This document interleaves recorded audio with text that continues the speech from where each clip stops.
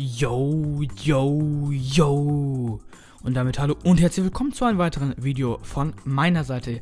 Ja, heute geht es um das beste und gleichzeitig günstigste YouTube-Equipment, was es so aktuell auf dem deutschen Markt zu finden gibt, in den Kategorien PC, Capture Card, Mikrofon und Software. Also gleichzeitig das beste, das günstigste und äh, auch der Mittelweg. Hier seht ihr nochmal alles drei aufgelistet. Und wie gesagt, ich würde sagen, wir schnacken nicht lange drum rum und fangen direkt an. Ich werde euch das natürlich alles erklären und auch euch die Preise nennen. Ich, gehe übrigens von einem Let's Player aus und es ist alles meine Meinung. Also wir fangen mit gut und günstig an. Ähm, hier als PC äh, Software zum Capturen würde ich euch definitiv die Open Broadcaster Software, die ihr hier im Hintergrund seht, sehen. Ist free, könnt ihr auf ubsproject.com runterladen und ist wirklich eine sehr ambitionierte Software eigentlich schon, die auch Livestreamen kann. Also hier wirklich ein definitives Empfehlen, wobei es bei Windows hier ein paar mehr Probleme gibt. Ein PC für einen Let's Player würde ich bereits im Bereich äh, 500 Euro sehen, Prozessor vor Grafikkarte hier, denn äh, das ist nicht so wichtig, weil, jetzt kommt's, ähm, zum einen habt ihr äh, als, als Headset, würde ich euch so empfehlen für Let's Play, äh, das Sennheiser PC320 ist jetzt etwas so im Bereich 50 bis 80 Euro, ist so das, was ich so empfehlen würde. Dann ähm, als Capture Card, damit meine ich dann zum Beispiel Elgato oder das ist jetzt eben der große Knackpunkt, die Media Game Capture HD2, die wir jetzt hier gleich sehen werden. Und die nimmt eben ohne PC auf. Das heißt, ihr müsst halt keinen PC haben und die Grafikkarte wird eben nicht so anspruchsvoll äh, genutzt wie zum Beispiel Elgato das äh, so anbietet, sag ich mal. Und deswegen, das geht allerdings, die lässt, hier seht ihr nochmal die Anschlüsse, hat leider nicht so viel Optionen, also ihr könnt keinen Großmembraner da zum Beispiel anschließen, aber ich denke, so im gut und günstig Bereich ist das wirklich das günstigste und gleichzeitig das Beste. Ihr müsst eine HDD einbauen, ansonsten, wenn ihr über USB 3.0 extern eine Festplatte anschließt, kann es zu Aufnahmefehlern kommen, bei der HDD gar nicht. Ich habe ganz, ganz viele mit der gemacht und ich kann wirklich sehr, sehr gut über die Media Game Capture HD2 für ihre Zwecke sprechen, also hier wirklich ein sehr, sehr gutes Plus, meiner Meinung nach. Dann äh, das letzte ist natürlich die Videosoftware und da reicht Video Deluxe 2015. Magix ist führend auf dem äh, Gebiet, kostet aktuell 40 Euro, nicht die neueste Version, sondern mit der, die, die tut es auch vor allen Dingen, weil die auch die 64-Bit-Unterstützung hat und deswegen reicht die völlig aus und ihr seid noch wirklich gut ausgerüstet und habt noch nicht so viel Geld raus, sag ich mal. Und jetzt gehen wir aber zu gut über. Und zwar würde ich euch hier auch die Open Broadcaster, äh, Broadcaster Software empfehlen. Habe ich euch ja gerade eben schon gesagt, warum.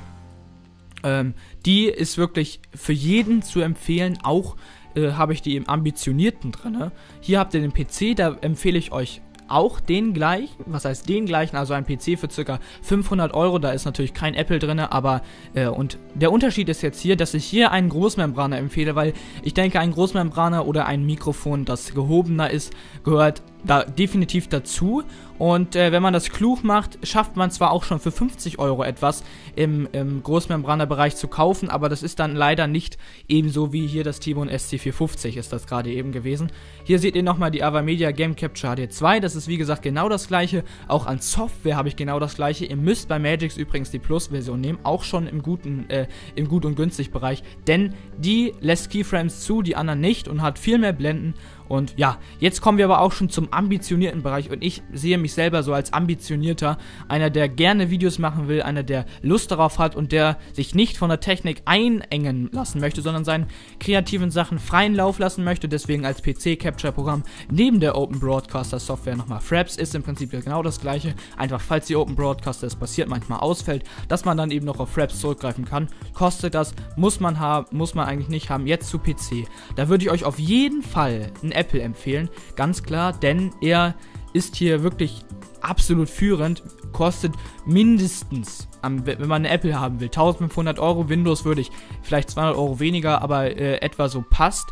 Und wenn ihr, wie gesagt, ambitioniert sein wollt, dann würde ich euch wirklich den Apple dringendst empfehlen.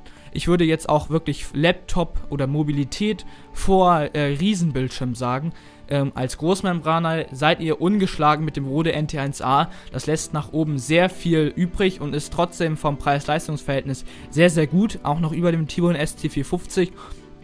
Und ihr habt einfach mit dem NT1A die beste Lösung. Ich nehme übrigens auch mit dem NT1A auf.